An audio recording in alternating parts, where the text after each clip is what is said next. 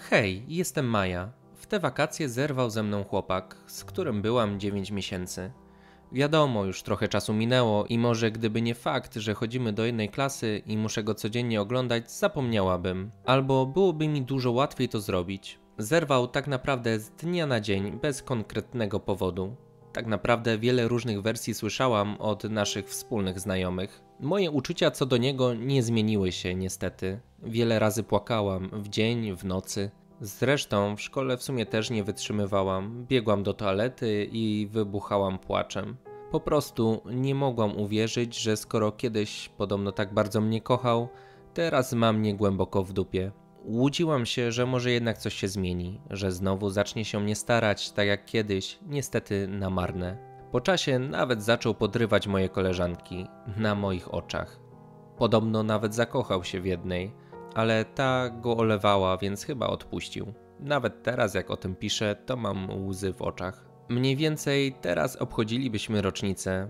Powiecie, zapomnij i znajdź innego chłopaka. Próbowałam, ale nie potrafię. Nie potrafię być z nikim innym, bo w każdym widzę jego. Jeszcze parę miesięcy temu był dla mnie taki kochany. Nigdy nie pomyślałabym, że tak bardzo mnie zrani. Jak patrzę na niego, jaki był wcześniej, a jaki teraz, widzę zupełnie dwie inne osoby, tylko w tym samym ciele.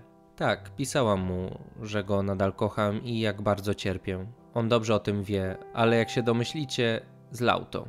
Nie zawsze byłam idealną dziewczyną, to fakt, więc możliwe, że moje zachowanie też przyczyniło się do tego, że jest teraz tak jak jest. Gdybym mogła cofnąć czas, zrobiłabym wszystko, żeby nie było tylu niepotrzebnych kłótni, ale niestety nie mogę. Wiem, że wielu z Was powie, że przecież jestem jeszcze dzieckiem.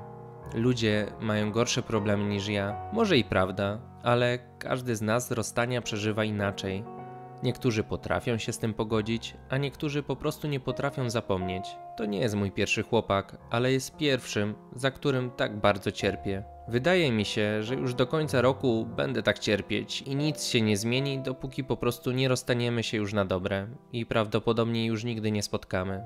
Pamiętajcie, że jak jesteście z osobą, którą bardzo kochacie, nie kłóćcie się o jakieś bzdety, tylko starajcie się znaleźć wyjście z każdej sytuacji. A kiedy nie podoba Wam się coś w drugiej osobie, to po prostu powiedzcie, a nie zrywajcie. Bo prawdopodobnie tak właśnie straciłam mojego chłopaka, który jeszcze niedawno wydawał się być tym jedynym. I teraz jestem już pewna, że straciłam go na zawsze.